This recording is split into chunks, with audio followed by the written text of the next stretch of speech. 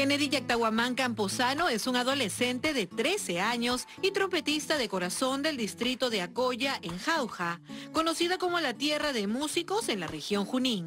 A la corta edad de dos años recibió su primer instrumento musical. Ahora que es estudiante de secundaria, toca con gran habilidad la trompeta, el timbal y el tenor, un instrumento parecido al saxofón. El joven músico, quien además es usuario del programa Jaliwarma, integra la banda de su colegio y sueña con pertenecer a la banda de la Policía Nacional del Perú y forjarse una profesión con su talento.